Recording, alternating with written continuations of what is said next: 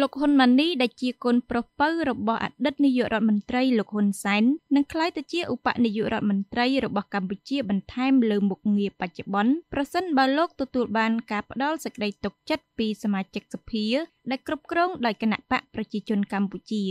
បើតាមសេចក្តីប្រកាសព័ត៌មានរបស់រដ្ឋសភាកម្ពុជាកាលពីថ្ងៃប្រហ័សសភានឹងបើកកិច្ចប្រជុំផ្ដល់សេចក្តីទុកចិត្តដល់លោកហ៊ុនម៉ាណីនៅថ្ងៃទី21ខែកុម្ភៈឆ្នាំ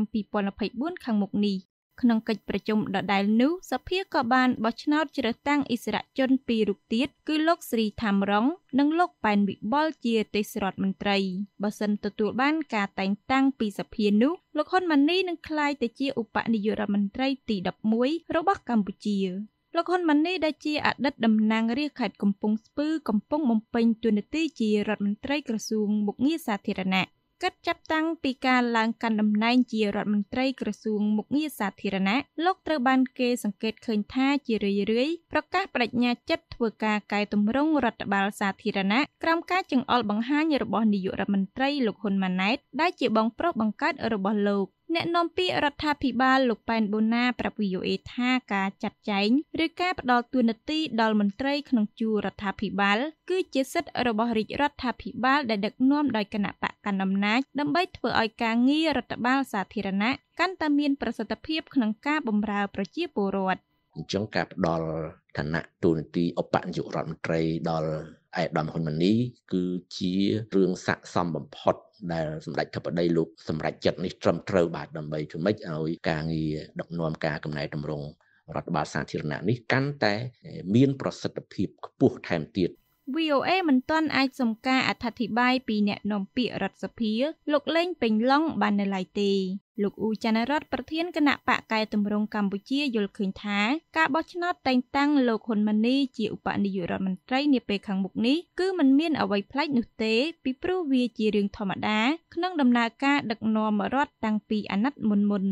វាជាទម្លាប់ដឹកនាំ ព្រោះប្រទេសយើងកន្លងមកណាយើងឃើញ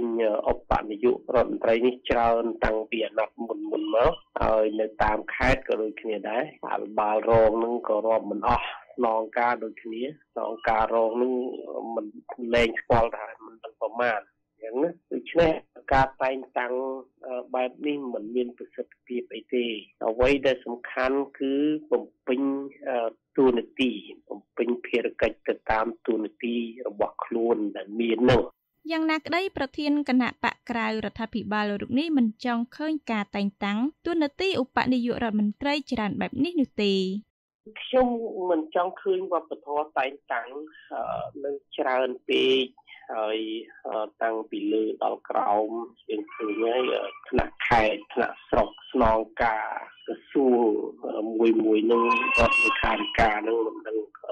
យកដំណើរអស់ ហើយវាជាវប្បធម៌មួយមិនប្រសើរទេការតែងតាំងច្រើនហើយមិនទទួលខុសត្រូវចំពោះទូនាទីរបស់ខ្លួនវាជាការខាតបង់របស់ប្រជាប្រដ្ឋទេព្រោះត្រូវចំណាយថវិការដ្ឋដែលជាពុនរបស់ប្រជាប្រដ្ឋ អ្នកវិភាគនយោបាយលោកសេងសេរីប្រាប់ VOA នៅថ្ងៃសុក្រនេះថាការតែងតាំងលោកហ៊ុនម៉ាណីជាឧបនាយករដ្ឋមន្ត្រីមិនមែនជាអ្វីដែលគួរឲ្យភ្ញាក់ផ្អើលនោះទេពីព្រោះគ្រាន់តែជាការចាប់ផ្ដើមដំណើរការពង្រឹងអំណាចបន្ថែមទៀតរបស់ក្រុមគ្រួសារអតីតនាយករដ្ឋមន្ត្រីលោកហ៊ុនសែន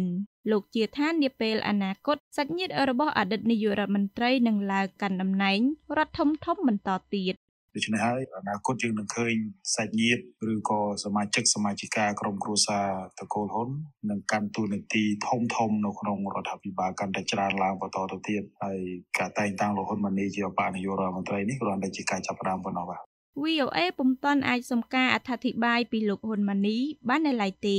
លោកហ៊ុនម៉ាណីបានបញ្ចប់បរិញ្ញាបត្រផ្នែកវិទ្យាសាស្ត្រនយោបាយនៅសាកលវិទ្យាល័យ Hofstra ទីក្រុង Long Island ក្នុងឆ្នាំ2002-2006ហើយនៅឆ្នាំ2006-2008លោកបានបញ្ចប់សញ្ញាបត្រអនុបណ្ឌិតផ្នែកទំនាក់ទំនងអន្តរជាតិនៅសាកលវិទ្យាល័យ Melbourne ប្រទេសអូស្ត្រាលីនេះបើតាមសៀវភៅដែលមានចំណងជើងថាបងប្អូនប្រុសទាំង3នាក់ ជាថ្មីក្នុងចំណោមអ្នកបន្តវេនសរសេរដោយរដ្ឋលេខាធិការក្រសួងព័ត៌មានលោកឆៃសុផល បတ်តាមសៀវភៅដដែលក្នុងឆ្នាំ2009-2010បន្ទាប់ពីបំពេញការងារជាជំនួយការផ្ទាល់របស់ឪពុកលោកហ៊ុនម៉ាណីបានទៅរៀនបន្តនៅសាកលវិទ្យាល័យការពារជាតិនៅទីក្រុង Washington ដោយទទួលសញ្ញាបត្រអនុបណ្ឌិតផ្នែកសន្តិសុខជាយុទ្ធសាស្ត្រផ្ដោតទៅលើការប្រឆាំងភេរវកម្មបន្ថែមលើមុខងារក្នុងស្ថាប័នជាតិលោកហ៊ុនម៉ាណីក៏ជាប្រធានសហភាពសហព័ន្ធយុវជនកម្ពុជា ដែលបានផ្ដល់អ្នកសង្កេតការបោះឆ្នោតច្រើនជាងអង្គការស្ថាប័ន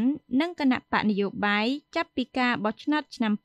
2017មករាយការណ៍ពីរាជធានីភ្នំពេញ នាងខ្ញុំមាសដា VOA